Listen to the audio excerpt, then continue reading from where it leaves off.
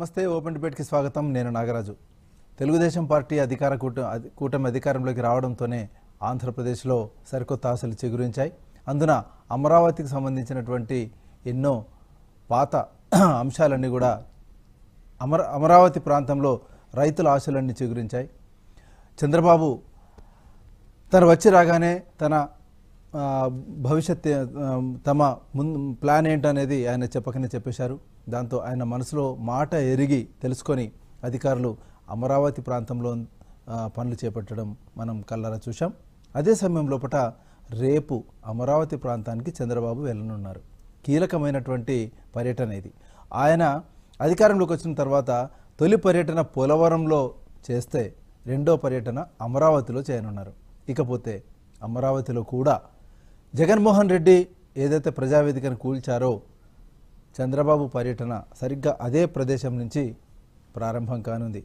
సరే ఇవన్నీ రాజకీయంగా ఎత్తుగడలు ఉండొచ్చు దీంట్లో. రైతుల ఆశలను చిగురింపు చేయడం ఉండొచ్చు. అమరావతి ప్రజల్లో అమరావతి రాజధాని ప్రాంత ప్రజల్లో ఒక ధైర్యాన్ని విశ్వాసాన్ని నింపే చర్యలు కూడా కావచ్చు. ఇవన్నీ కూడా ప్రజల కలల రాజధాని సాకారం చేసే దిశగా ముఖ్యమంత్రి చంద్రబాబు అడుగులు ఇస్తున్నారనడంలో ఎలాంటి సందేహం లేదు. ఈరోజు మన ఈ చర్చలో పాల్గొనడానికి తెలుగుదేశం పార్టీ అధికార ప్రతినిధి జగడం సత్యనారాయణ గారు మనతో సిద్ధంగా ఉన్నారు. అదే సమయంలో కూడా జనసేన అధికార ప్రతినిధి ప్రమీల గారు బీజేపీ అధికార ప్రతినిధి లక్ష్మీనారాయణ గారు వైఎస్ఆర్ కాంగ్రెస్ పార్టీ కీలక నేత పాదయాత్ర వెంకటేశ్వర రెడ్డి గారు మనతో ఈ చర్చలో పాల్గొనడానికి సిద్ధంగా ఉన్నారు. నలుగురికి నమస్తే అండి.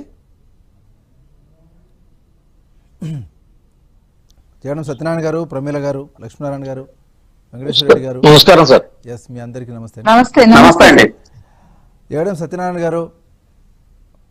చెప్పండి సార్. సత్యనారాయణ గారు ఇకపోతే అమరావతి. ప్రజల సాకారం చేసే దిశగా చంద్రబాబు నాయుడు తన ప్రతి చర్యను తన అడుగులన్నీ కూడా వేస్తూ ఉన్నారు.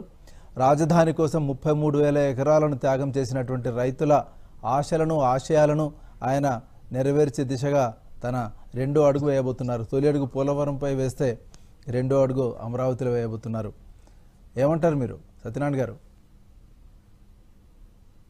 సార్ ముందుగా సివిఆర్ ప్రేక్షకులకి అదే విధంగా ఆ, ప్రేక్షకులు పాల్గొన్నటువంటి పెద్దలకు డిబేట్ నిర్వహిస్తున్నటువంటి మీకు ప్రత్యేకమైనటువంటి శుభ సాయంత్రం ఈరోజు అమరావతి మళ్ళీ మరి నూతన ఉత్సాహంతో ముందుకెళ్తుందని చెప్పేసి అందరూ కూడా భావించినటువంటి ఆ విషయాన్ని మనందరం కూడా పాలు పంచుకుని మరి చర్చించుకుందాం ఖచ్చితంగా. ఎందుకంటే అమరావతిని జగన్మోహన్ రెడ్డి గారి యొక్క సర్కారు ఏ విధంగా మరి ఇక్కడ సత్యనారాయణ గారు సత్యనారాయణ గారు చెప్పండి. సార్.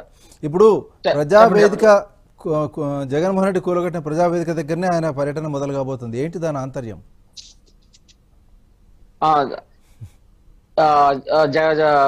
ప్రజావేదికను కూల్చేసినటువంటి విధానం కూడా ప్రజలందరూ కూడా వ్యతిరేకమైనటువంటి తీర్పు మనం గమనించాం. ఎందుకంటే ఆ రోజు ప్రజావేదిక కూల్చేసిన తర్వాత. ఎందుకంటే ప్రజావేదికలో రాత్రి తొమ్మిది గంటల పది గంటల వరకు కూడా సమావేశం పెట్టుకుని బయట బుల్డోజర్స్ పెట్టుకుని ఆపేసర్స్ పెట్టుకుని బయటకు వచ్చి ఇది కూల్ చేయండి అనేటువంటి పైశాచిక ఆనందం ఏదైతే ఉందో కూల్ చేసిన తర్వాత కూడా ఆ ప్రాంతాన్ని శుభ్రపరచినటువంటి పరిస్థితి. ఈ రోజు కూడా శిథిలాలు అలాగే ఉన్నటువంటి పరిస్థితి. ఇదంతా కూడా ప్రజలు గమనించారు కాబట్టి జగన్మోహన్ రెడ్డి గారికి ఇటువంటి తీర్పు ఇచ్చారు.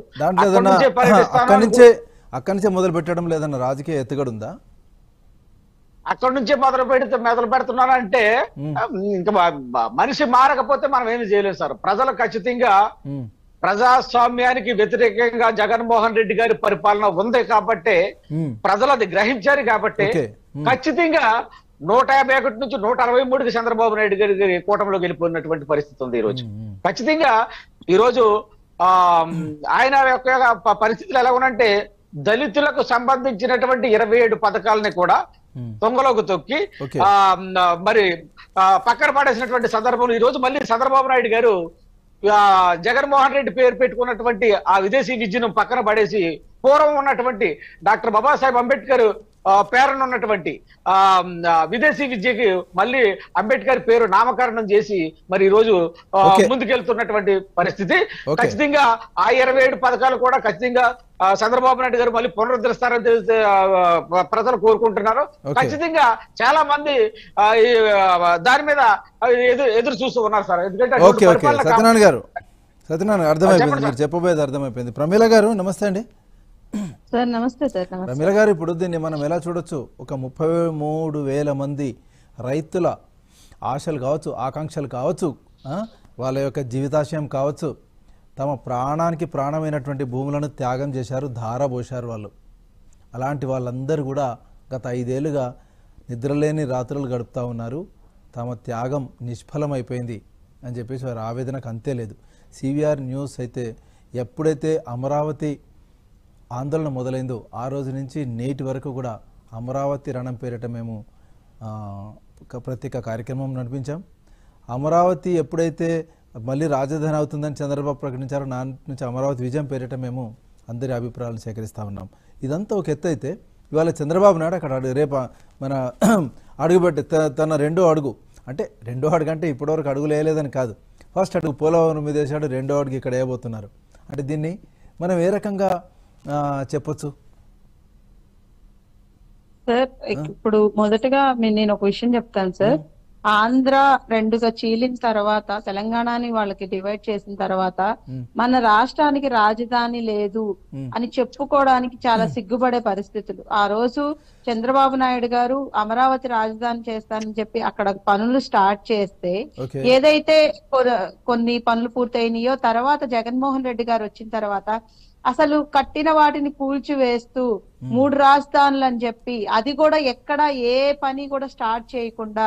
జనాన్ని ఒక మీమాంసలో పెట్టి అనవసరంగా కన్ఫ్యూజ్ చేసి చాలా ఇబ్బందులు పెట్టారు. ఇలాంటి పరిస్థితి నుంచి ఆంధ్ర రాష్ట్ర ప్రజల్ని ఏదైతే హామీలు ఇచ్చి కూటమి ప్రభుత్వం వచ్చిందో ఆ హామీలను నెరవేర్చే దిశగానే అడుగులు పడుతున్నాయి సార్. ఫస్ట్.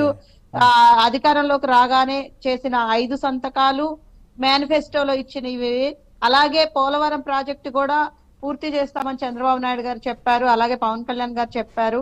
అదే ఇప్పుడు అమరావతి రాజధానిగా ఉండిద్ది అని ఇద్దరు ఎంతో గట్టిగా చెప్పిన విషయంలో ఇప్పుడు ఖచ్చితంగా అమరావతి వైపే అడుగులు పడతాయి. ఖచ్చితంగా అమరావతిని రాబోయే ఐదు ఏళ్ళలో మనం రాజధానిగా చేసుకొని మంచి పరిపాలన సాగాలని మనస్ఫూర్తిగా కోరుకుంటూ గారు. ఇది మంచి సంకేతంగా తీసుకుందాం సార్.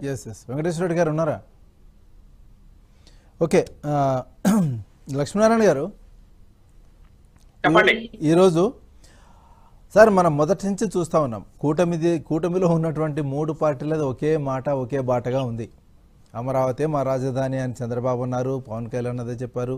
మొదటి నుంచి బీజేపీ కూడా మా వ్యక్తిగత అభిప్రాయం ఎన్డీఏ కూటమి మా వ్యక్తిగత అభిప్రాయం కూడా అమరావతి మా ఆంధ్రప్రదేశ్ రాజధాని అని కూడా చాలామంది మీ ఎంపీలు చెప్పారు. అమరా పురంధేశ్వర్ గారు కూడా కుండబద్దలు కొట్టారు. అదే దిశగా రేపు అడిగేస్తూ ఉన్నారు. అడుగులు పడతా ఉన్నాయి. చంద్రబాబు సర్కార్ అడుగులు. అంటే దీన్ని నిజంగానే టైం బౌండ్ ప్రాతిపదికన అమరావతిని మనం చూడొచ్చా?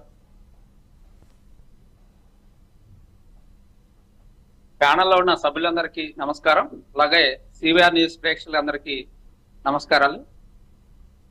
ఈరోజు ఎన్డీఏ కూటమి ఆంధ్రప్రదేశ్లో అఖండ విజయం సాధించడానికి దోహదపడిన విషయాలు ముఖ్యమైనవి రెండు విషయాలు. ఒకటి అమరావతి రాజధాని రెండు పోలవరం నిర్మాణం. అమరావతి నిర్మాణం త్వరితగతన పూర్తి అవుతుంది అన్నదానికి ఒక మంచి ఉదాహరణ పురపాలక శాఖ మంత్రిగా ప్రమాణ స్వీకారం చేసినటువంటి నారాయణ గారు రెండున్నర సంవత్సరాల్లో అమరావతి రాజధాని నిర్మాణం పూర్తి చేస్తాము అని చెప్పేసి చెప్పడం. జరిగింది. దానికి మేము భారతీయ జనతా పార్టీ తరఫున స్వాగతిస్తున్నాం. కేంద్ర ప్రభుత్వం నిధులు ఇవ్వడానికి సిద్ధంగా ఉంది. వాటిని తీసుకొని సద్వినియోగం చేసి అమరావతి నిర్మాణం త్వరితగతిన పూర్తి చేసి లక్ష్మీనారాయణ గారు ఇక్కడ. ఇక్కడ నిజ నిజంగా ప్రధా అందరి చూపు మీ వైపేనండి. రాజధాని పూర్తి కావాలంటే అంత ఆషామాషి వ్యవహారం కాదు. నిజంగా కూడా జగన్మోహన్ రెడ్డి దాన్ని పైకి చెప్తున్నా పైకి ఏ రకంగా చెప్పి దాన్ని దానిపైన చేతులు ఎత్తేసినా ఆయన చెప్పినట్టుగా విపరీతంగా డబ్బు ఖర్చుగా అవుతుంది అనేది మాత్రం వాస్తవం. అంత డబ్బు ఆంధ్రప్రదేశ్ దగ్గర లేదు. ఇప్పుడు జగన్మోహన్ రెడ్డి ఐదేళ్ళ పాలనలో అప్పుల కుప్పగా మారిపోయింది. అభివృద్ధికి నిధులు ఎలా అన్న అంశం ఒకటి. మీరు మీరు ప్రకటించినటువంటి పథకాలను అమలు చేయడం ఎలా అనేది ఒకటి. నెక్స్ట్ రాజధాని అనేది చాలా పెద్ద సవాల్ అండి ఆ సవాలు భారతీయ జనతా పార్టీ ఒక చేయేస్తే తప్ప పూర్తయ్యే పరిస్థితి లేదు. ఏమంటారు? లక్ష్మణారాయణ గారు. భారతీయ జనతా పార్టీ ఎప్పుడు సహకారం అందిస్తుంది. జనతా పార్టీ కేంద్ర ప్రభుత్వంలో ఇబ్బంది ఉండదు. దాన్ని మనం ఆంధ్రప్రదేశ్ ప్రజలుగా దాన్ని సద్వినియోగం చేసుకొని త్వరితగతిన పూర్తి చేసే ప్లాన్ అనేది చంద్రబాబు నాయుడు గారి నాయకత్వంలో ముందు జరగబోతుంది. అదే విధంగా పోలవరం కూడా మనకి ఎంత త్వరగా పూర్తయితే అంత త్వరగా మనకు ఏదైతే లోటు విద్యుత్ ఉందో విద్యుత్ కవర్ అవుతుంది. అదే విధంగా బ్యాక్ వాటర్ మనకి అనుసంధానం చేయటం వల్ల కృష్ణా నది కూడా పరివార ప్రాంతం కూడా సస్యశ్యామలం అవుతుంది. ఈ విధమైనటువంటి ఆలోచనతోటి ముందుకు రాబట్టే కూటమి అభ్యర్థుల్ని ఆంధ్రప్రదేశ్లో లక్ష్మణారాయణ ప్రజలు గారు ఆశీర్వదించారు. లక్ష్- లక్ష్మణారాయణ గారు ఇప్పుడు రాజధాని ప్రాంతంలో ఏదైనా మార్పులు చేస్తారా? లేకుంటే ఏ రకంగా ఉండబోతోంది? రా- రాజధాని ప్రాంతం అనేది మార్పు లేదండి. బీజేపీ చెప్పిన మాట ఒకటే. అమరావతి అమ- ఆంధ్రప్రదేశ్. కాదు కాదు. అమరావతిలో మార్పు అనేది సందేహం లేదండి. అమరావతి అనేది ఉంటుంది. రాజధాని నిర్మాణంలో ఒక ప్లాన్లలో ఏదైనా మార్పులు ఉండబోతున్నాయా? ఏమి ఉండవండి. ఏమి ప్లాన్లు అనేవి ఏమి మార్పులు ఉండవు. ఓకే. ఏదైతే మనం రైతుల నుంచి తీసుకున్నామో ముప్పై మూడు వేల ఎకరాలు వాళ్ళకి కావాల్సినది వాళ్ళకి ఇచ్చి మిగిలిన అనేది ప్రభుత్వ కార్యాలయాలకు గాని వివిధ ప్రముఖ విద్యా సంస్థలకు గాని ఇవ్వటం జరుగుతుంది. ఉమ్, ఏదైతే నిర్మాణం అదే విధంగా ఇంతకు ముందు ఏదైతే అనుకున్నారో అదే విధంగా నిర్మాణం జరుగుతుంది. ప్రజలకి త్వరలో నారాయణ గారు చెప్పినట్టు రెండున్నర సంవత్సరాలు మూడు సంవత్సరాల్లో మనకి అన్ని సౌకర్యాలతోటి అమరావతి మనకి అందుబాటులోకి రాబోతుంది. ఓకే. ఉమ్. తర్వాత ఆ, జగన్ సత్యనారాయణ గారు. సత్యనారాయణ. గారు. ఇప్పుడు ఇక్కడ చెప్పండి చంద్రబాబు. చంద్రబాబు ఐదేళ్ళ పాలన లోపట ఒక హైకోర్టు నిర్మాణం అయిపోయింది. సెక్రటేరియట్ అంటే తాత్కాలికమే అని చెప్తా ఉన్నారు. తాత్కాలికమైన భవనాలు కూడా అద్భుతంగా ఉన్నాయి. అమరావతి హైకోర్టు పూర్తయిపోయింది సెక్రటేరియట్ పూర్తయిపోయింది. తర్వాత ఐఏఎస్ ఐపీఎస్ సివిల్ సర్వెంట్ల క్వార్టర్లు ఇవన్నీ కూడా పూర్తయిపోయినాయి. సీడ్ క్యాపిటల్కి సంబంధించినటువంటి రోడ్ల నిర్మాణం ఇదంతా జరిగింది.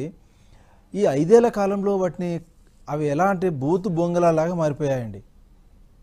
విలువైన ప్రజాధనంతో నిర్మించినటువంటి అధికారుల క్వార్టర్స్ అన్నీ కూడా అద్భుతంగా నిర్మించారు. అవన్నీ కూడా బూత్ బంగ్లాలుగా మారిపోయాయి. దీన్ని ఎలా చూడొచ్చు మనం అసలు? సార్ ఇప్పుడు ఆ?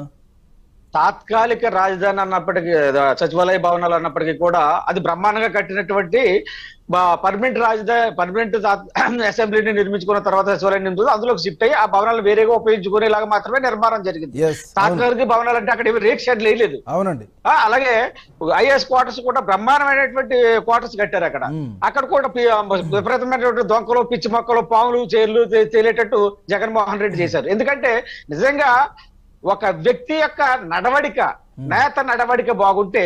ఖచ్చితంగా ఆ, కింద స్థాయి అధికారులు గాని కింద స్థాయి నాయకులు గాని అందరూ కూడా బాగుంటారు. కానీ జగన్మోహన్ రెడ్డి గారి యొక్క అతని ఉద్దేశం మనం ఖచ్చితంగా తెలుసు. ప్రజావేదిక కూల్చివేత దగ్గర నుంచి ఐదు సంవత్సరాల వరకు కూడా ఏమి ముట్టుకోకుండా అది అక్కడ రాజధాని ఇక్కడ రాజధాని అని చెప్పేసి మూడు రాజధానులు తీసుకు బయటకు తీసుకొచ్చి పరిపాలనా విధానం ఏదైతే ఉందో అదంతా కూడా అతని మెంట జగన్మోహన్ రెడ్డి గారి మెంటాలిటీ క్లియర్గా మనం అర్థం చేసుకోవచ్చు. ఎందుకంటే ఒక అద్దె ఒక ఏదైనా ఒక ఇంటికి మనం వెళ్ళినప్పుడు దాన్ని చాలా శుభ్రంగా ఉంచుకుంటాం.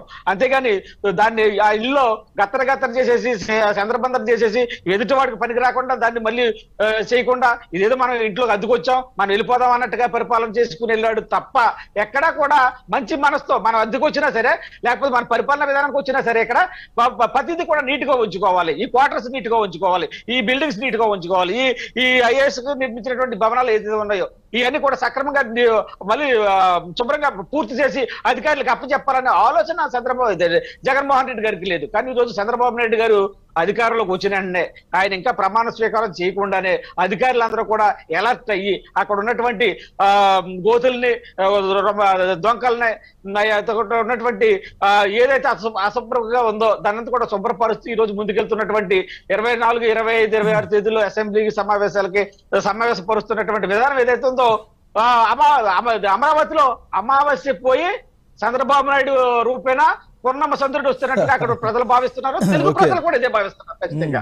తెలుగు ప్రజలు కూడా ఇదే భావిస్తున్నారు కదా. ఒక ఒక దుర్మార్గమైనటువంటి పరిపాలనలో నుంచి ఒక పరిపాలనా విధానం ప్రజాస్వామ్యం అంటే ఎలా ఉండాలి? ప్రజల యొక్క అభిప్రాయాన్ని గౌరవించాలి. ప్రజాస్వామ్యాన్ని ముందుకు తీసుకెళ్ళాలనే నాయకుడు మళ్ళీ అక్కడికి ఒక చంద్రులా ప్రవేశిస్తున్నారని చెప్పేసి ఆంధ్రప్రదేశ్ అంతా కూడా తెలుగు ప్రజలు ఎక్కడున్నా చాలా ఆనందంగా ఇరవై నాలుగు ఇరవై ఐదు ఇరవై ఆరు తేదీలో ఏం జరుగుతుంది?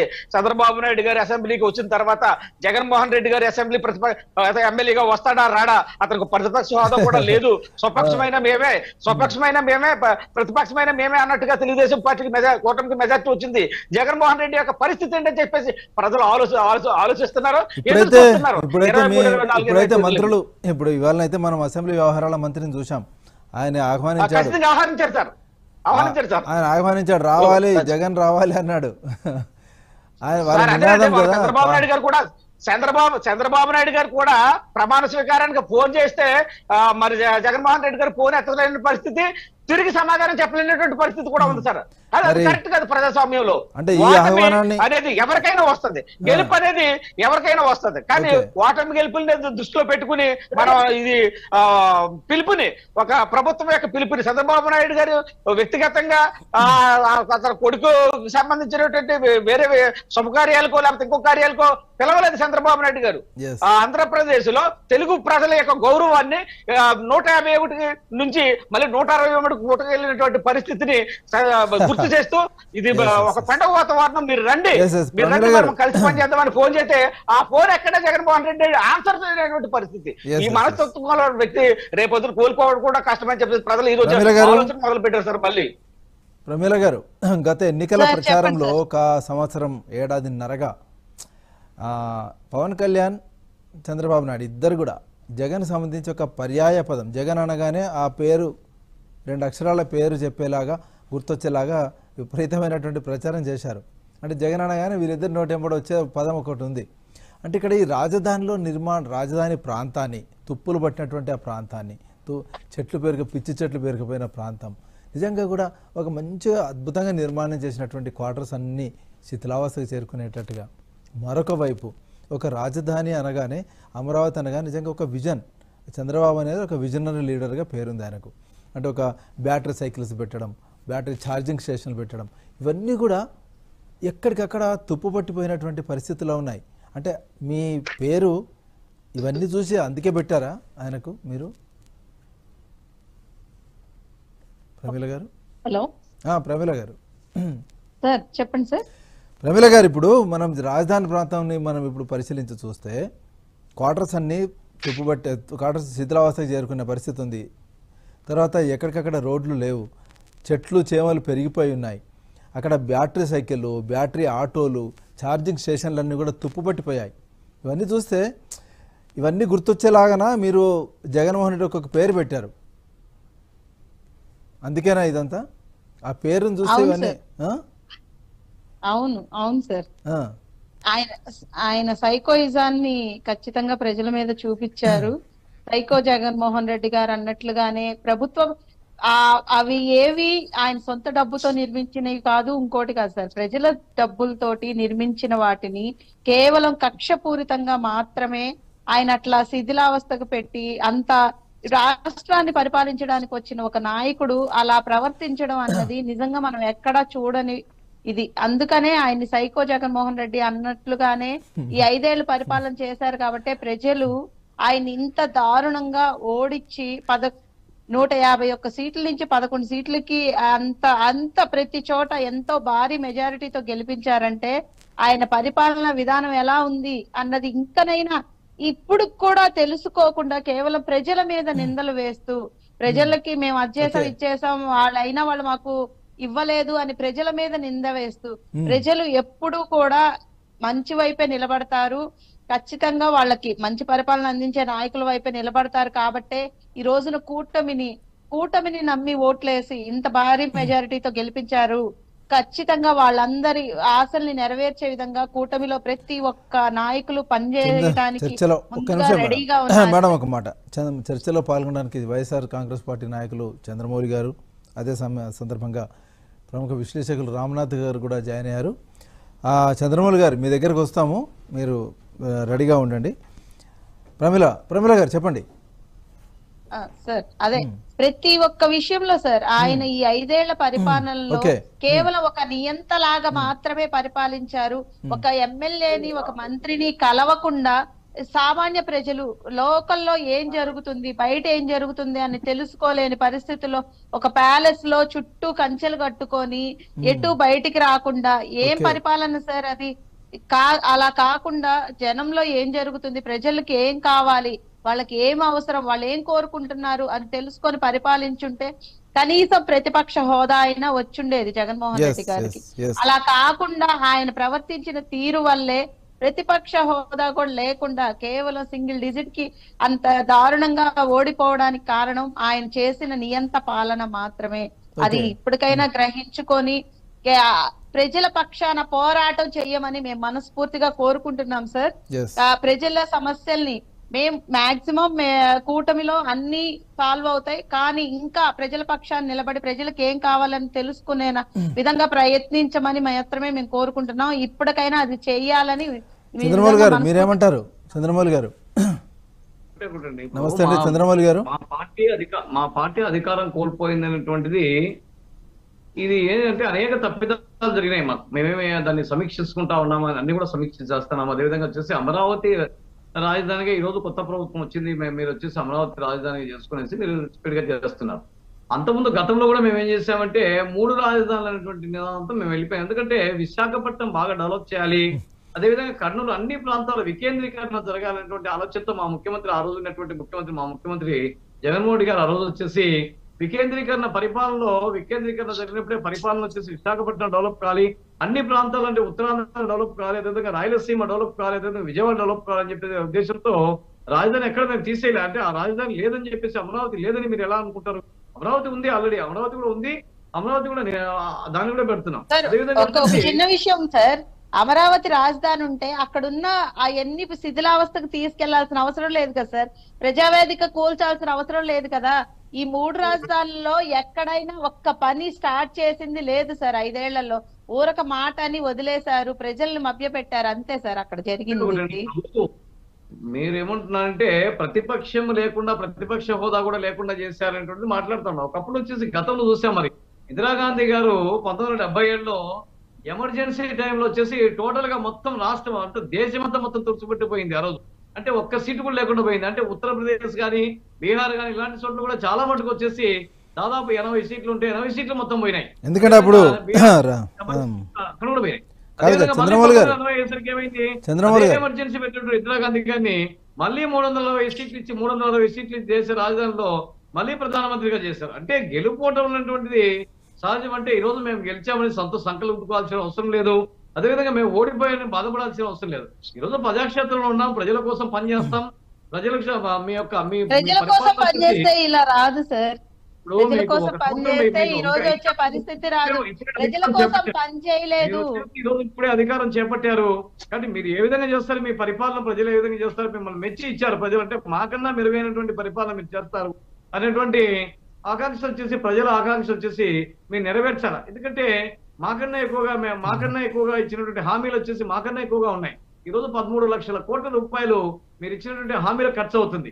కాబట్టి వాటన్నిటిని నిశ్చితంగా పరిశీలిస్తాం. ఎందుకంటే మీకు కూడా సమయం ఇవ్వాలి కాబట్టి ఒక సంవత్సరం పాటు చంద్రమౌళి గారు చంద్రమౌళి గారు చంద్రమౌళి గారు. ఇప్పుడు చంద్ర చంద్రబాబు ముఖ్యమంత్రిగా పదవి ప్రమాణ స్వీకారం చేసిన తర్వాత ఫస్ట్ అధికార పర్యటన పోలవరం చేశారు.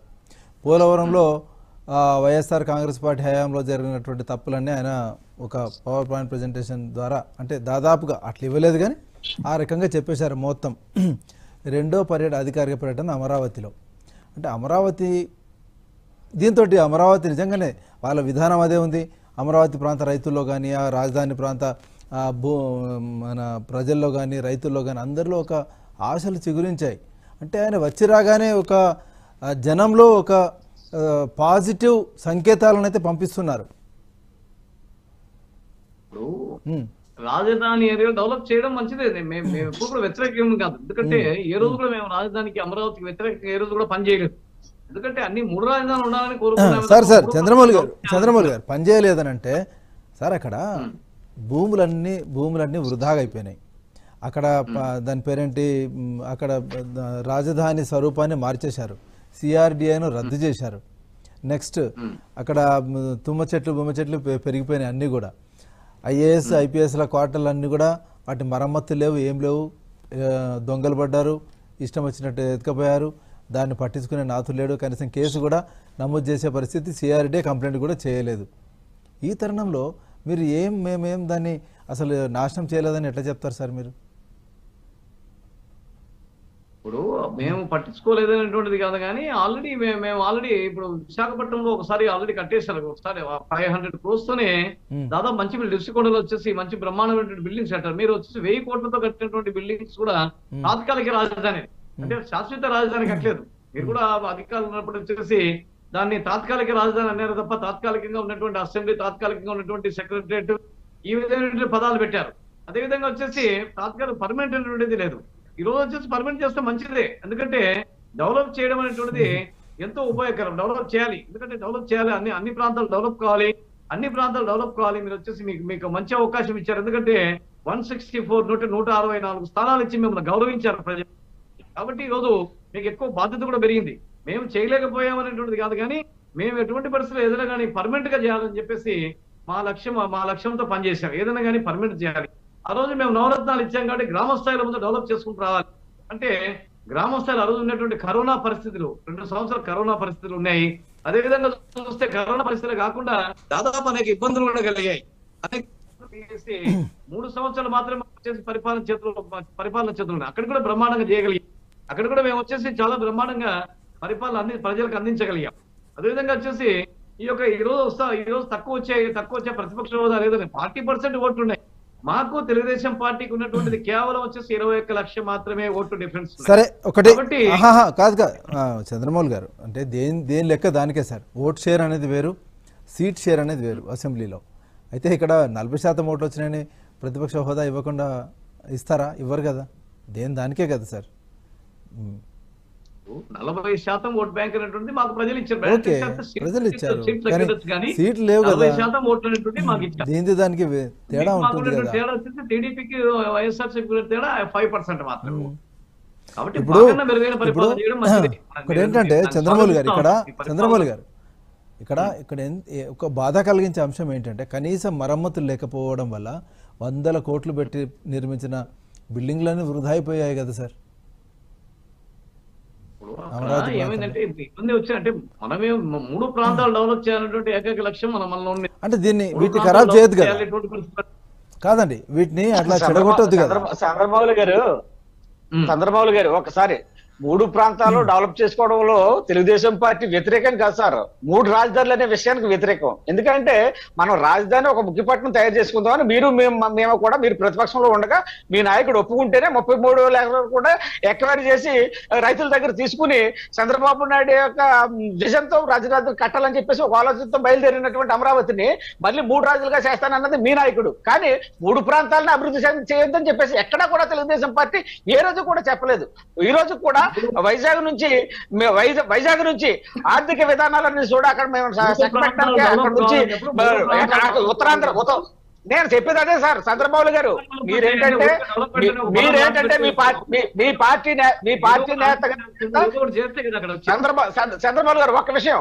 మీ పార్టీ నేత జగన్మోహన్ రెడ్డి గారి యొక్క పరిపాలనా తీరు కూడా ప్రజా ప్రజావేదిక కూల్చివేత దగ్గర నుంచి ఈ రోజు వరకు కూడా. మీరు ఎందుకు ఓడిపోయారు?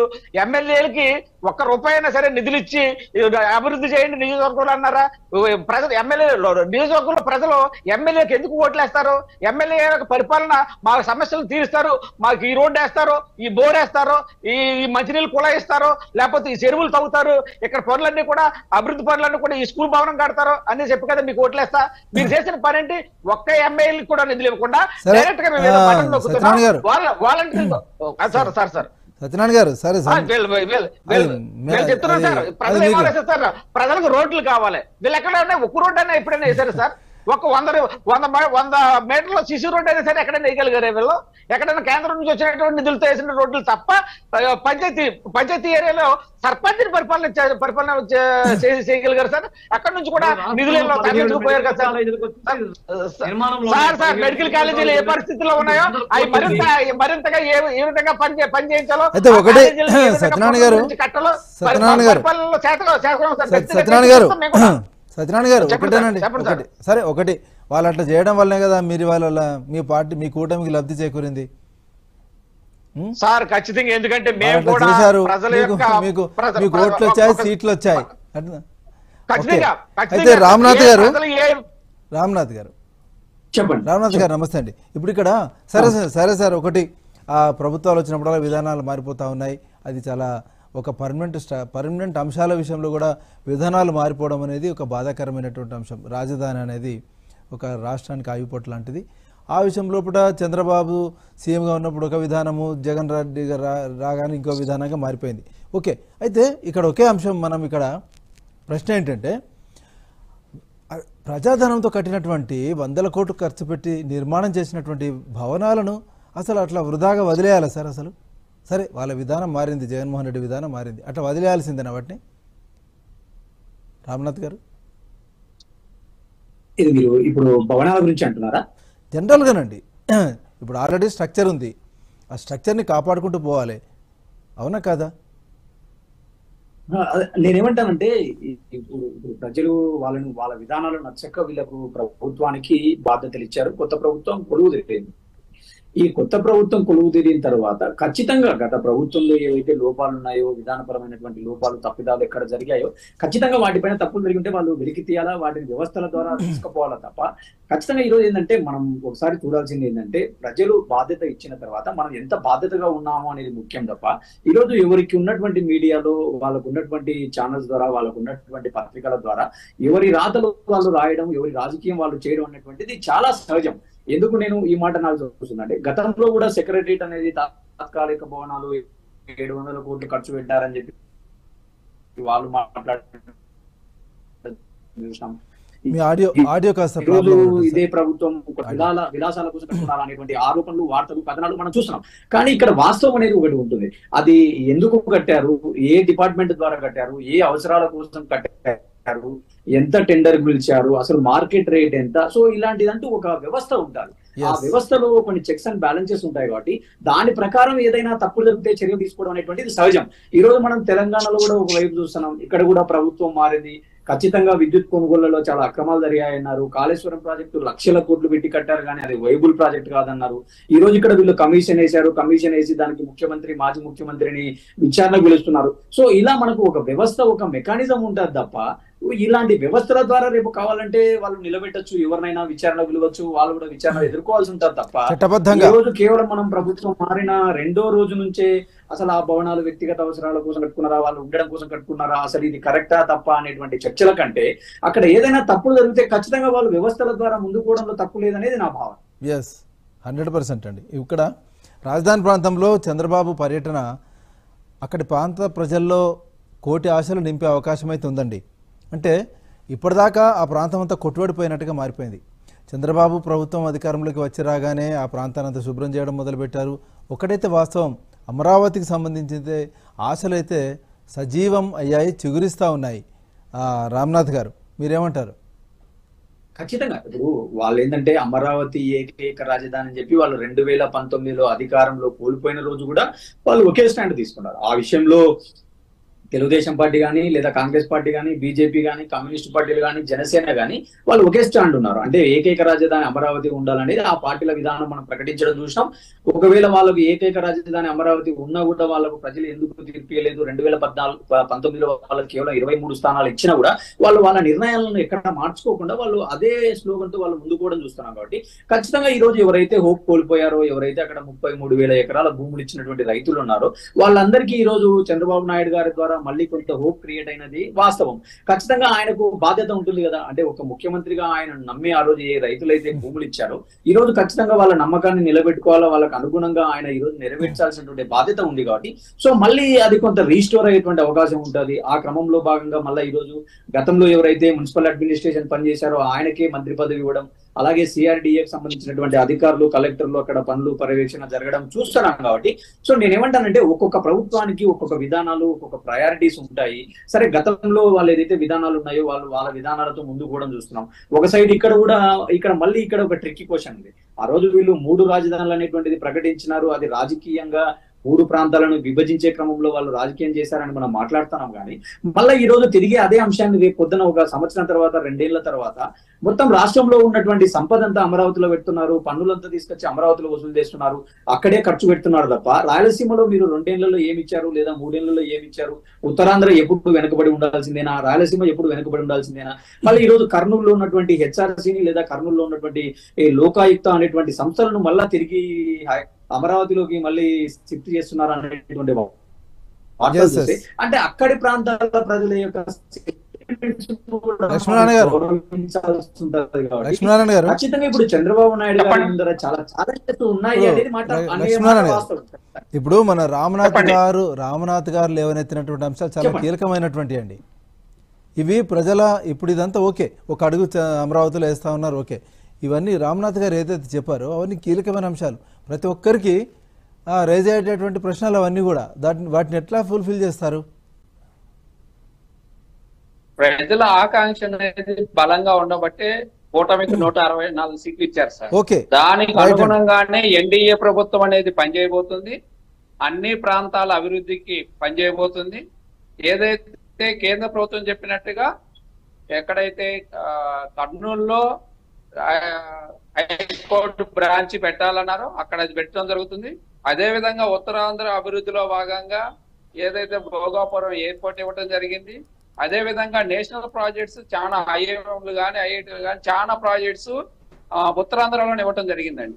ఈ విధంగా అన్ని ప్రాంతాలని మూడు ఏదైతే ఆంధ్రప్రదేశ్లో ఉన్నటువంటి మూడు ప్రాంతాల ప్రజల ఆకాంక్షలను నెరవేర్చే విధంగానే కేంద్ర ప్రభుత్వం అడుగులేస్తుంది. దానికి అనుగుణంగానే ఇక్కడ ఆంధ్రప్రదేశ్లో కూడా ఎన్డీఏ ప్రభుత్వం పనిచేస్తుందండి. ప్రజలు ఏదైతే మ్యాండేటరీ ఇంత అత్యధికంగా సీట్లు ఇచ్చారంటేనే వాళ్ళు ఈ ప్రభుత్వం నుంచి ఎక్కువ ఆశిస్తున్నారు. వాళ్ళ ఆశలకు తగిన విధంగానే ఇక్కడ ఎన్డీఏ పనిచేస్తుంది. ఇప్పుడు పోర్టుఫోలియోలో కేటాయింపులో కూడా చాలా అద్భుతంగా రామ్నాథ్ గారు. కేటా- కేటాయించడం జరిగింది. రామ్నాథ్ ఏవైతే పవన్ కళ్యాణ్ గారికి మంచి శాఖలు ఇవ్వడం. జరిగింది రామ్నాథ్ గారు ఇప్పుడు కూడా వైద్య ఆరోగ్య మంచి శాఖలు ఇవ్వడం జరిగింది. ద్వారా నాయకులు లక్ష్మీనారాయణ- అందబోతుంది ప్రజలకి. లక్ష్మీనారాయణ గారు చెప్పిన దాంట్లో మీరు మీ ప్రశ్నలకు జవాబులు వచ్చాయా? అంటే ఖచ్చితంగా అదే నేను ఏమంటాను అంటే ప్రభుత్వం ఇప్పుడే వాళ్ళు కొలువు కాబట్టి వాళ్ళ యొక్క ప్రయారిటీస్ ఏంటి వాళ్ళ యొక్క ప్రాధాన్యాలు ఏంటి అనేది మనం ఒక ఒక ఐదు ఆరు నెలల పాటు వేచి చూడాల్సి ఉంటుంది తప్ప ఖచ్చితంగా ఈ ప్రాంత ఈ ప్రభుత్వం రేపు రాయలసీమను కానీ లేదా ఉత్తరాంధ్రను కానీ నెగ్లెక్ట్ చేస్తారని చెప్పేసి మనం ఒక హైపోథెటికల్ కోణంలో మాట్లాడలేము. కాకపోతే నేను ఏమంటానంటే రెండు వేల పద్నాలుగు పంతొమ్మిది మధ్య జరిగిన రాజకీయము పంతొమ్మిదికి ఇరవై నాలుగు మధ్య జరిగిన రాజకీయంలో. ఈ రోజు రాష్ట్రంలోని అన్ని వర్గాల ప్రజలు అన్ని ప్రాంతాల ప్రజలు ఇద్దరిని చూడడం జరిగింది అంటే ఇప్పుడు ఆ. వాళ్ళు చేసిన తప్పిదాలను ప్రజలు వ్యతిరేకించి జగన్మోహన్ రెడ్డి గారికి అధికారం ఇవ్వడం ఈ రోజు జగన్మోహన్ రెడ్డి గారి విధానాలు నచ్చక మళ్ళీ తిరిగి బాబు గారికి అధికారం ఇవ్వడం ద్వారా సో ఖచ్చితంగా నేను ఏమంటే గతంలో జరిగినటువంటి తప్పులు జరగకుండా వాళ్ళు ఒక మంచి రోడ్ మ్యాప్ చేసుకోవచ్చు ఇందాక ఆయన అన్నారు అంటే ఇప్పుడు కర్నూలుకు మేము హైకోర్టు బెంచ్ పెడతామని చెప్పేసి గతంలో గతంలో ప్రామిస్ చేశారు లక్ష్మీనారాయణ గారు అన్నట్టు. ఆ రోజు బీజేపీ కూడా మన కాకినాడ తీర్మానం ప్రకారంగా ఆ రోజు వాళ్ళు ఇచ్చినటువంటి తీర్మానంలో ఒక రెండు ఒక ఓటు. ఒక ఓటు రెండు రెండు రాష్ట్రాలు. సో ఇలా నేనేమంటానంటే కర్నూలులో బీజేపీ చాలా సమావేశాలు పెట్టి కర్నూలు ఒకప్పుడు రాజధాని కర్నూలుకు చాలా ప్రాధాన్యత ఉంది. కర్నూలు హిస్టరీలో దానికి చాలా నష్టం జరిగిందని మాట్లాడినటువంటి వాళ్ళు. ఈ రోజు అలాంటి ఆస్పిరేషన్స్ అలాంటి విశ్వాసాలను కూడా వీళ్ళు రేపు కన్సిడరేషన్లోకి తీసుకోవాలా? ఈ రోజు ఏంటంటే మనం ఒక అధికార ప్రతినిధులను లేదా ఒక పార్టీకి మనం స్పోక్స్ మ్యాన్గా మనం చెప్పడంలో తప్పులేదు మా ప్రయారిటీస్ మా విధానాలు ఉన్నాయని. అంటే ఓకే రామ్నాథ్ ఎంతవరకు మెటీరియలైజ్ ఎంతవరకు మెటీరియలైజ్ అవుతాయి ఎంతవరకు ఇంప్లిమెంటేషన్ అవుతాయి అనేది ఇక్కడ ఒక ఛాలెంజింగ్ ఒకవైపు నారాయణ గారు మాట్లాడుతున్నటువంటి మాట ఏంటంటే దాదాపుగా నలభై ఎనిమిది లక్షల కోట్లు మేము అమరావతిలో ఖర్చు పెట్టబోతున్నాం అంటున్నారు. ఉమ్, అంటే ఈ రోజు మనకు ఉన్నటువంటి స్టేట్ బడ్జెట్ దాదాపుగా రెండున్నర రెండున్నర లక్షల నుంచి మూడు లక్షల కోట్ల బడ్జెట్లో దాదాపు యాభై లక్షల కోట్లు ఒకే ప్రాంతంలో మేము ఖర్చు పెట్టబోతున్నాం అని చెప్పినప్పుడు ఇక్కడ మిగతా ప్రాంతాలను వాళ్ళు ఎలా సమభాగంగా చూస్తారు ఎలా ఈక్వలైజ్గా మెయింటైన్ చేస్తారు అనేది కూడా అక్కడ ఒక ఛాలెంజింగ్ అనేది మనం ఒక వాస్తవ కోణంలో చూడాలనేది నా భావన. ప్రమీల గారు సార్ ఈ జడ్ ఈ దీన్ని ఎలా విప్పుతారు ఈ అంశాన్ని. సార్ ఖచ్చితంగా అమరావతి రాజధానిగా ఉంటూ అమరావతిలోనే కాకుండా మిగతా రాష్ట్రాలను మిగతా స్టే ప్లేసులను కూడా ఖచ్చితంగా డెవలప్ చేసే దిశగానే కూటమి ప్రభుత్వం అడుగులు వేస్తుంది సార్. ఎందుకంటే ఇప్పుడు అమరావతిలో ఆల్రెడీ కొంత కన్స్ట్రక్షన్ జరిగింది. అవి శిథిలావస్థలో ఉన్నప్పటికీ వాటిని రిపేరింగ్ రిపేరింగ్ పద్ధతిలో వాటిని అన్నిటిని మళ్ళీ పునరుద్ధరించి అవి చేసితో పాటు దాంతో పాటు ఇటు కర్నూలు కావచ్చు అటు విశాఖపట్నం కావచ్చు అన్ని రాష్ట్ర అన్ని ప్రాంతాలని సమపాలల్లో చూస్తూ డెవలప్ చేసే విధంగానే ఖచ్చితంగా మా అడుగులు అయితే ప్రతి ఒక్క అడుగు అలాగే పడుతుంది సార్. కొంచెం టైం ఉంది కాబట్టి ప్రజలు ఎక్కువ ఎక్స్పెక్ట్ చేస్తున్నారు కాబట్టి వాళ్ళకి అనుగుణంగానే వీళ్ళు ఖచ్చితంగా పరిపాలిస్తారని మేమైతే గట్టిగా మాటిస్తున్నాం సార్ Yes. ప్రతి దానికి. సత్యనారాయణ గారు? సార్. సత్యనారాయణ గారు. సార్ ఇప్పుడు తెలుగుదేశం పార్టీకి కూటమికి కూడా ప్రజలేమి నూట అరవై మూడు సీట్లు ఇచ్చేసారు కదని చెప్పేసి మాకు ఇక్కడ పూలబాట అరవై నాలుగు, తగ్గించుకోకండి. అదే. అరవై నాలుగు. సీట్లు సార్ సార్ సార్ సార్. పూలబాట వేసారని చెప్పేసి మేము. ఎక్కడ భావించట్లేదు కానీ ఒక్క ఛాన్స్ మొదలు పడి ప్రజలు ఈ రోజు మాకు ముళ్ళబాట మీద నడమంటే పరిస్థితులు ఉన్నాయి నూట అరవై నాలుగు సీట్లు ఇచ్చినప్పటికీ కూడా ఖచ్చితంగా ఎలా? చంద్రబాబు నాయుడు గారి యొక్క విజన్ చంద్రబాబు నాయుడు గారి యొక్క విజన్ చంద్రబాబు నాయుడు గారి యొక్క ఫేస్ వాల్యూ ఆయనకు ఉన్నటువంటి ఇతర రాష్ట్రాల్లో ఉన్న ఇతర దేశాల్లో ఉన్నటువంటి సత్సంబంధాలు ఆ ప్రత్యేకంగా బీజేపీతో ఉన్నటువంటి ఇప్పుడు ప్రత్యేకతమైనటువంటి ఆ, ఇంతకుముందు కూడా కలిసి పనిచేసాం ఇప్పుడు బీజేపీతో ప్రత్యేకంగా కలిసి పనిచేసినటువంటి పరిస్థితి. ఎందుకంటే వారు ఇచ్చినటువంటి అమరావతి వారిచ్చిన వారు శంకుస్థాపన చేసినటువంటి అమరావతి జగన్మోహన్ రెడ్డి గారు దాన్ని కిల్ చేసినటువంటి పరిస్థితి. కానీ ఇదంతా ప్ర- కేంద్ర ప్రభుత్వానికి గుర్తు చేస్తూ బడ్జెట్కు దాటిపోయి మించినటువంటి పరిస్థితి ఉంది ఇక్కడ బడ్జెట్కు దాటిపోయి ఎక్కడ కూడా నిధులు వచ్చాయి కానీ అప్పటికే కూడా కొన్ని పరిశ్రమలు వెళ్ళిపోయి అక్కడ అన్ని పరిశ్రమలు తెచ్చుకుంటే కొంత వెసులుబాటు యువత కూడా యువత చక్కబడుతుంది నిరుద్యోగం కొంచెం తగ్గుతుంది అదే చంద్రమౌళి విధంగా గారు. ఆ, ప్రతిదీ కూడా. ప్రతి ప్రతి. అంశాన్ని కూడా చంద్రబాబు నాయుడు గారు. ఫేస్ వాల్యూతో ఇప్పుడు చేసుకెళ్ళవలసిన. పరిస్థితులు ఆంధ్రప్రదేశ్లో ఖచ్చితంగా ఉన్నాయి సార్ ఎందుకంటే. ఏ ప్రాంతాన్ని గారు. కూడా వదిలేదు ఏ ప్రాంతాన్ని గారు. వదలకుండా ముందుకెళ్ళే పరిస్థితులు ఉన్నాయి సార్ ఫిలప్ చేయాల్సిన అవసరం ఉంది ఉద్యోగాలు మీకు వాలంటీర్స్ వేసి ఐదు ఉద్యోగాలను మేము ఎక్కడ చెప్తాం సార్. ఇరవై లక్షల ఉద్యోగాలు మీకు ఇలాగ వాలంటీర్స్ కూడా మేము చెప్తాం రాజధాని ప్రాంతంలో చంద్రబాబు గారు మీరు చెప్పిన మంచి సలహాలన్నీ బాగున్నాయి. ఈ విధంగా రెండు మన రాష్ట్ర బడ్జెట్ చూస్తే రెండున్నర లక్షల కోట్ల రూపాయలు ఈ రోజు ఏ విధంగా మీరు రాజధాని ప్రాంతంలో అంత అంత డబ్బులు ఖర్చు పెట్టాలంటే అది వేచి చూడాలా? మనం కూడా ఎందుకంటే దాదాపు ఒక సంవత్సరం పాటు మీరు ఏ విధంగా డెవలప్ చేస్తారనేటువంటిది ప్రజలు కూడా వేచి చూస్తా ఉన్నారు. మేము కూడా మేము కూడా ప్రతిపక్ష పాత్ర పోషిస్తూ వేచి చూస్తాం. అదే విధంగా వచ్చేసి వచ్చేసి. Railway zone Visakha railway zone తెచ్చడానికి ప్రయత్నం చేయండి. ఎందుకంటే రాష్ట్రానికి చాలా మంచి జరుగుతుంది. ఎందుకంటే ఈ రోజు మంచి అవ- కాదండి మంచి అవకాశం మన వచ్చింది. ప్ర- ప్రమీల గారు అంటున్నారు. ముందు కాదు చంద్రమౌళి గారు. ప్రతిపక్ష ప్రమీల గారు ఏదో అంటున్నారు. ప్రతిపక్ష హోదా లేదు? మంచి అవకాశం వచ్చింది ఎందుకంటే ప్రతిపక్షమైన స్వపక్షమైన మేమే పూర్తి మెజార్టీ మోడీ గారు కూడా ఈ రోజు కేంద్ర ప్రభుత్వం బీజేపీ కూడా మీ మీద డిపెండ్ అయింది కాబట్టి ఈ రోజు మంచి అవకాశం వచ్చింది. కాబట్టి రైల్వే జోన్ కూడా ప్రత్యేక railway zone Visakha railway zone కూడా ప్రయత్నం చేయండి. సార్ మాకే కాదు మీకు కూడా ఇరవై ఇరవై మంది పైదాటి ఎంపీలు ఇచ్చి మీకు కూడా మంచి ఇచ్చారు ప్రజలు. కానీ మీరు చేయలేకపోరు మీరు అడగలేకపోరు కేంద్రంలో. ఈ రోజు మీకు మంచి అవకాశం ఒక ఎందుకంటే రైల్వే జోన్ కూడా తేలేకపోయారు. మీకు అవకాశం వచ్చేసింది. ఈ రోజు వచ్చేసి తెలుగుదేశం పార్టీ లేకపోతే కేంద్రంలో వచ్చేసి మైనార్టీ ప్రభుత్వం పడిపోయేటువంటి అవకాశం ఉంది కాబట్టి ఇప్పుడు మంచి అవకాశం వచ్చింది కాబట్టి ఈ రోజు రాష్ట్రానికి ఒక ఉపయోగం ఉపయోగపడితే ప్రజలు కూడా హర్షిస్తారు ఈ రోజు కాబట్టి ఈ రోజు అమరావతి రాజధాని చేస్తారు చాలా మంచి డెవలప్మెంట్ స్వాగతిస్తాం మేము కూడా అలా కాదు చంద్రమౌళి గారు చంద్ర- చంద్రమౌళి గారు రాజకీయాలు మళ్ళీ మాకు చెప్పకండి మీరు చంద్రబాబు మీరు కేంద్రంలో ప్రభుత్వం పడిపోతుంది మీరు ఇరికించండి అని చెప్పేసి ఇటువంటి బ్లాక్ మెయిల్ రాజకీయాలు మా తెలుగుదేశానికి ఆపాదించొద్దు మీరు. మీరు ఒకవేళ ఒకే మీ- మేము- మా దగ్గర నలుగురు నలుగురు ఎంపీలు ఉన్నారు మేమే మేమే డైరెక్ట్గా మీకు సపోర్ట్ చేస్తామని చెప్తుంది మీరు. మీ మేము ధోరణి మారలేదు. మీ ధోరణి మారలేదు అంటున్నాను అంటే మేము ముందుంటాం. ఓకే. ఈ రోజు రెండు పాయింట్ యాభై ఐదు లక్షల డైరెక్ట్గా ప్రజలకు ఇవ్వగలిగాం.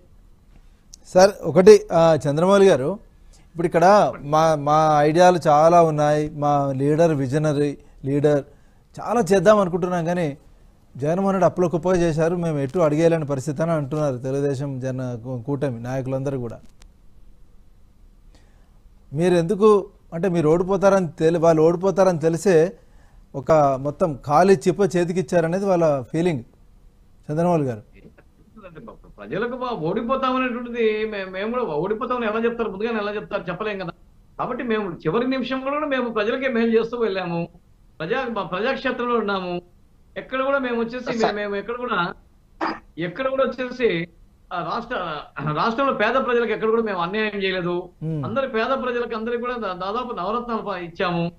రెండు పాయింట్ యాభై ఐదు లక్షల కోట్ల రూపాయలు మేము వచ్చేసి డైరెక్ట్గా పంచగలిగాము. మరి ఎక్కడ కూడా ఈ రోజు వచ్చేసి సచివాలయ భవనాలు కట్టాము. రైతు భరోసా కేంద్రాలు కట్టాము. ఈ రోజు వచ్చేసి పదిహేడు మెడికల్ కాలేజ్ శంకుస్థాపన చేసి మెడికల్ అవి కూడా అవి కూడా తయారు అవి కూడా వచ్చేసి అవుతా ఉన్నాయి. బందర్ పోర్ట్ కూడా చేసాము అదేవిధంగా అన్ని రకాలుగా డెవలప్మెంట్ అనేది ఈ రోజు విశాఖలో డెవలప్మెంట్ అయింది. ఈ రోజు వచ్చేసి ఐదు వందల కోట్లు పెట్టేసి ఋషికొండలో వచ్చేసి చేసినటువంటి బిల్డింగ్స్ కూడా మేము చేసాం అదేవిధంగా మీరు వచ్చేసి రాజధాని చంద్రబాబు గారు చంద్రబాబు గారు ఋషికొండ మీద ఋషికొండ చంద్రబాబు గారు ఒక్క- ఒక్కసారి చ- చంద్రబాబు గారు జస్ట్ మూమెంట్. పర్యావరణ పర్యావరణ కేంద్రంగా ఉన్నటువంటి ఋషికొండనే అలాగ గుండు కొట్టేసి అక్కడ భవనాలు కట్టడం ఎంతవరకు కరెక్ట్ సార్? అది కరెక్టా ఇప్పుడు పర్యాటక సార్, కేంద్రానికి మీరు అంటే ప- ఎవరైనా కూడా మీరు- ఎవరైనా కూడా ఏం చేయాలి? మీరు బోల్డ్ విశాఖపట్నంలో బోల్డ్ అనేటువంటి ల్యాండ్ ఉంది. మీరు రుషికొండని ఎందుకు ఎంచుకున్నారు మీరు కొండలు తవ్వే మీరు కొండ మీరు ఎందుకు ఎంచుకున్నారు సార్? తవ్వినటువంటి ల్యాండ్ అంతా ఏం చేశారు? మీరు తవ్వేసినటువంటి ల్యాండ్ అంతా మెటీరియల్ అంతా ఏం చేశారు? దేనికోసం మీరు తవ్వారు? పర్యావరణ కేంద్రంగా ఉన్నటువంటి పర్యావరణకు సంబంధించినటువంటి దాన్ని అట్లా డిస్టర్బ్ చేయడం కరెక్టా రేపు నేషనల్ కలామిటీస్ వస్తే మరి తుఫాను తుఫాను వచ్చినటువంటి ఆ, వచ్చినటువంటి సందర్భంలో చాలా కొండలు కాపాడుతుంటాయి పట్టణాలని ఆ విధంగా చేయడం కరెక్టా ప్రభుత్వానికి ప్రభుత్వం అంటే మా సొంత భవనాలు కాదు అది మా పార్టీకి కట్టిన భవనాలు కాదు కదని చెప్తున్నాం సార్ మీకు అది. మీరు మీరు. అటువంటి కొండల మీద కట్టడం కరెక్ట్ కదని చెప్తున్నాం మీకు. అందులో ఎటువంటిది ఎటువంటి అక్రమాలు జరగలేదు. కనపడతా ఉన్నాయి? కనపడతా ఉన్నాయి? డబ్బు ఖర్చు పెట్టినటువంటి కనపడతా ఉంది. మీరేం చెప్పకండి. ప్రజలు ఒక ఛాన్స్ మోజులో పడి మీకు అధికారం ఇచ్చారంటే మీరు తిన్నంగా చేసుకోలేకపోయారంతే విశాఖపట్నానికి తలమానికంగా ఆ యొక్క రుషికొండలో కట్టినటువంటి బిల్డింగ్స్ కనబడతా ఉన్నాయి. ఓకే చేసి ఓకే మన రామ్నాథ్ గారు. రామ్నాథ్ గారు వచ్చేసి ఈ కొత్త ఆశలు కొంగొత్త అడుగులను ఒక్క మాటలో మనం ఎలా చెప్పొచ్చు సార్? ఫైనల్గా అదే అన్నాను కదా నేను ఇందాక గతంలో చెప్పినట్టు ఏంటంటే రెండు వేల పద్నాలుగు పంతొమ్మిదిలో బాబు గారికి ఆ రోజు కూడా రాష్ట్రం విడిపోయింది. రాష్ట్రం విడిపోయిన సందర్భంలో ఒక అనుభవం ఉన్నటువంటి నాయకుడికి అని చెప్పే కోణంలో ఆయనకు పవర్ ఇవ్వడం జరిగింది. కానీ ఆయనను కూడా మళ్ళీ ఐదేళ్ళ తర్వాత ప్రజలు తిరస్కరించారు కదా. ఈ రోజు జగన్మోహన్ రెడ్డి గారు కూడా ఒక్క ఛాన్స్ అని చెప్పి అడగడం ఏదో ఆయనకు ఉన్నటువంటి అడ్వాంటేజెస్ వల్ల ఆయనకు ఆ రోజు అధికారం రావడం జరిగింది. మళ్ళీ ఈ రోజు తిరిగి మళ్ళీ ఖచ్చితంగా ఈ రోజు నేను ఏమంటానంటే ఒక బ్యాలెన్స్డ్గా గతంలో జరిగిన తప్పులు వాళ్ళు చేసిన తప్పులు గతంలో వీళ్ళు చేసిన తప్పులు అన్నిటిని బ్యాలెన్స్ చేసుకుంటా అన్ని వర్గాలకు సమప్రాధాన్యత ఇచ్చుకుంటా ఈ రోజు ప్రయారిటీ వైజ్గా వెళ్తే ఖచ్చితంగా వాళ్ళు అనుకున్నటువంటి లక్ష్యాలను సాధిస్తారు. ఆయనకు ఉన్నటువంటి అనుభవం కూడా కొంత రాష్ట్రానికి ఉపయోగపడుతుంది. ఈ రోజు కేంద్రంతో కూడా కొంత సయోధ్య వాళ్ళకు రెండు వేల పదహారులో దెబ్బతినింది.